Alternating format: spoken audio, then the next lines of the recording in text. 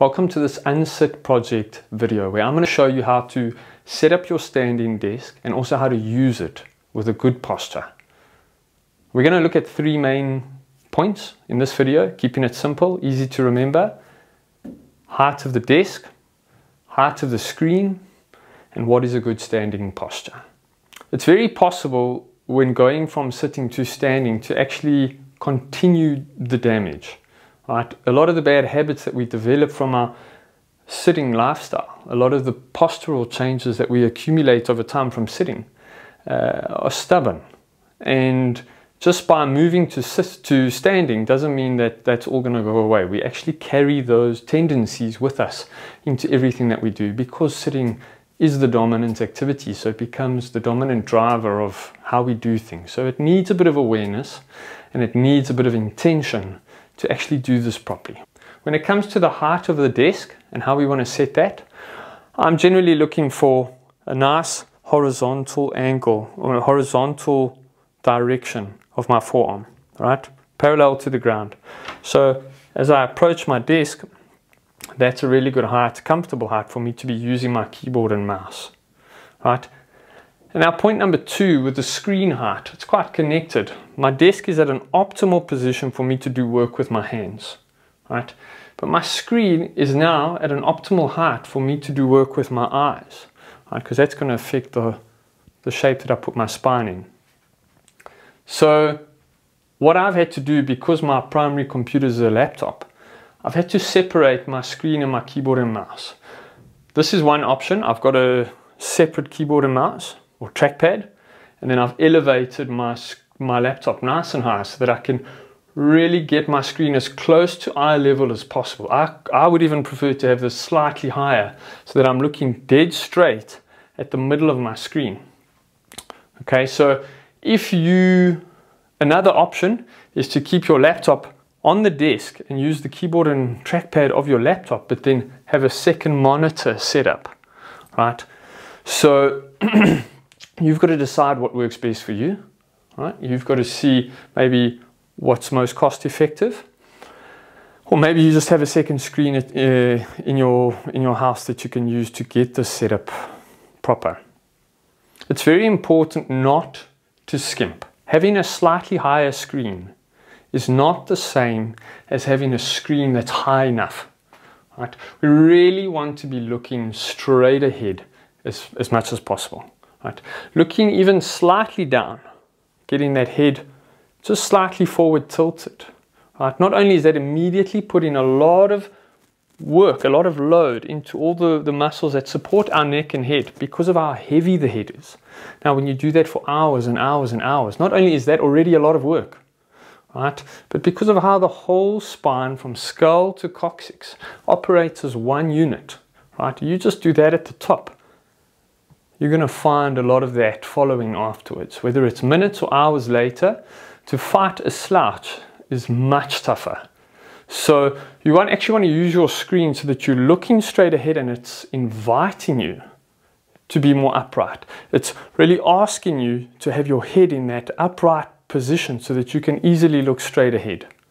Now looking at posture, right, remembering that we've set this all up as best we can for the purpose of having a good posture, right?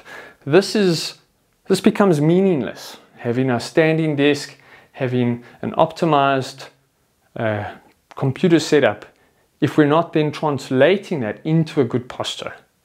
Right, that's the purpose. What are we actually doing with our body and what effects are we accumulating over time that are changing the way our body adapts, making us more susceptible to pain or injury, or developing good habits developing stability and awareness, right? So this is really the crux of it.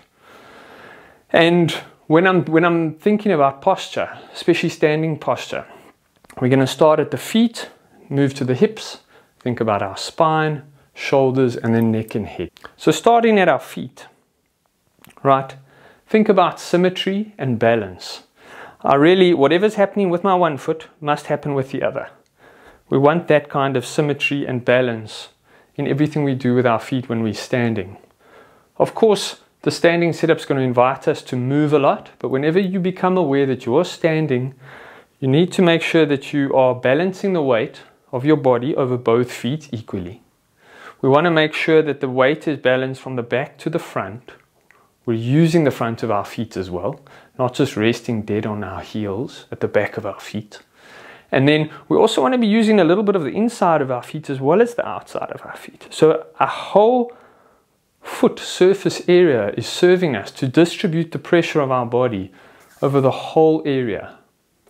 For a lot of us, the major shift that needs to happen because we've developed such lazy habits in our whole body, but especially in our feet and our legs. In, because you've got to remember that when we're sitting, we're not doing anything with our feet and our legs. No load, no activity, no control, nothing. And we've spent tens of thousands of hours, if not a hundred thousand hours or more, doing nothing. So the bad habit really does become to rest dead on the bones right? Rest dead on the heel. Wait for our knee to catch the weight, maybe our hip in some point, right? Whereas as soon as you, as soon as you do what I say and you put a little bit more pressure on the front of your feet, that's naturally going to ask a bit more of your calf muscle. It's naturally going to create a bit more tension and ask for a bit more support. Because there's no ways you can do that without engaging your calves a bit more. So it's definitely a more active posture. When we're thinking about positioning our feet, we want to think about first of all, are they pointing in the same direction, or you know, symmetrically, right? We don't want them to be dead straight. That's not natural either. But we definitely don't want them to be pointing out, and we don't want to have one out. What we want to think about is just a comfortable, fairly straight pointing position, and the same on the one side as the other. Moving on to our hips, right? Once again, if we want to have a nice, stacked, balanced and supported posture, we generally want to have support on all sides of our joints. We don't want to be hanging across the muscles of the front of our joint, of our hips, and just relaxing with nothing happening in the back, right? If we were neutral, if we were stacked in alignment, and we were supported. We would have activity on both sides of, these, of, the, of the joint. So when we think about our hips, we want to think about a little bit more glutes. For most people, there's not enough happening here. We've, we've sat on them a lot. We've become very tight in the front. And so when you think about, are my hips doing the right thing? You want to think about, can I do a little bit more with my glutes? right? And that's not a maximum contraction, a full effort, right? It's that feeling of squeezing your glutes like you're holding a card in between your bum cheeks, right? And initially you might not have much control over this. You might have on or off, right? But as your skill, as your coordination grows, you'll find you can just switch them on at 10%, 20%. And for something as low demand is a standing posture. You really don't need more than that. One or two out of 10 effort, tension. But it, it mustn't be off. It needs to be alive. It needs to be contributing. So we've looked at our feet. We've looked at our hips. We're working up from the ground. Next, the spine, the core, our trunk, right? Once again, it's about having this balanced coherent support of our spine, connecting our upper body to our lower body. Right?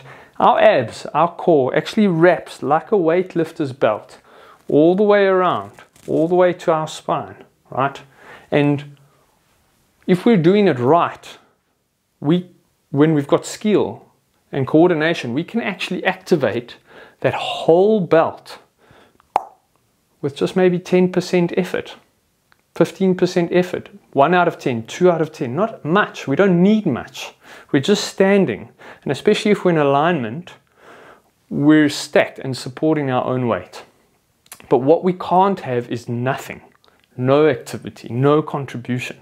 For me, that looks something like that. All of these uh, muscles in my abdominal wall just switch off. My back hyperextends and I get into this lazy posture. Not acceptable. Start at the bottom. How are my feet? How are my hips and glutes? and just a little bit.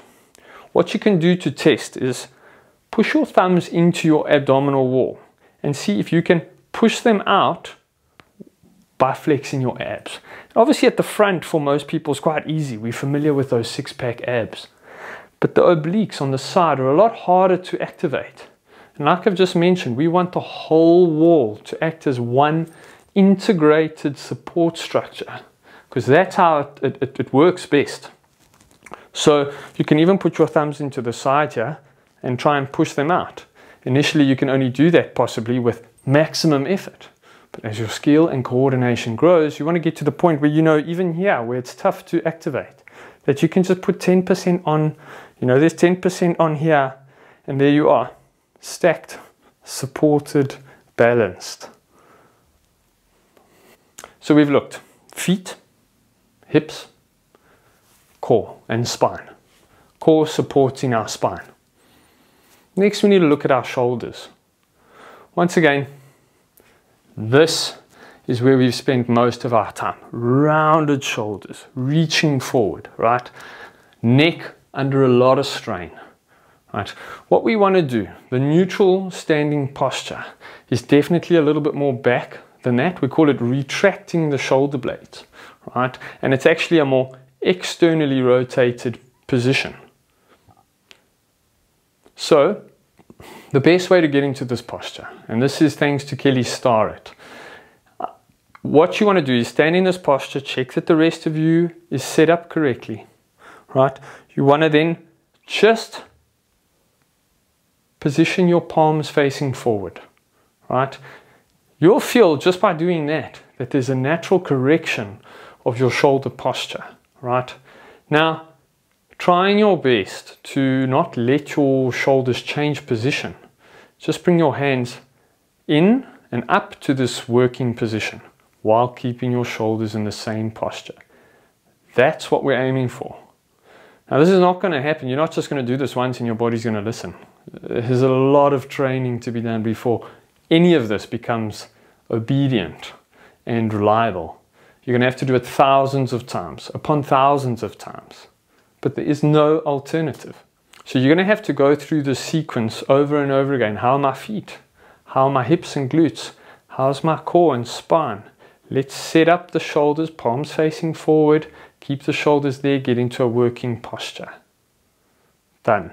Now, last but not least, of course, head and neck. And we've already taken care of a lot of that with the way we've set up our station. We want to avoid head slouching rounding, hanging forward, and we want to use the position of our screen looking straight ahead to invite us to a more upright posture, to invite our spine into that upright neutral position. And that's taken care of with the correct setup of our screen. So you can't cut corners there. So just to recap, we set up our desk at a height that allows our forearm to be horizontal. We want our screen inviting our eyes and our head to look straight forward. Then we think of our posture, good feet position. How are they pointing? How are we distributing our weight over them? And are they always symmetrical if we're in a neutral standing posture? Next, what's happening at our hips? Am I inviting those glutes? Am I activating them slightly to give my hips not only support, but it actually brings them into a good position? Then, am I using my core just enough to support my spine and to connect my whole body, my upper body to my lower body, and to bring structure to the system? Then, shoulders. Let's practice what that feels like to set the shoulders and then get into a working pattern. Lastly, position of our head, constantly checking looking straight ahead, dependent largely on our setup of our screen. So don't cut yourself short with that. So if you're using a desk station, make sure to implement all of these changes. And if you know anyone that is using a desk station, please make sure they see this because they clearly want to do things better, but we just need to make sure that, they're, that they're getting all of the benefits they can from putting this work in, from taking action to unsit their bodies. Please like this video, subscribe to the channel. Thank you so much for watching this video.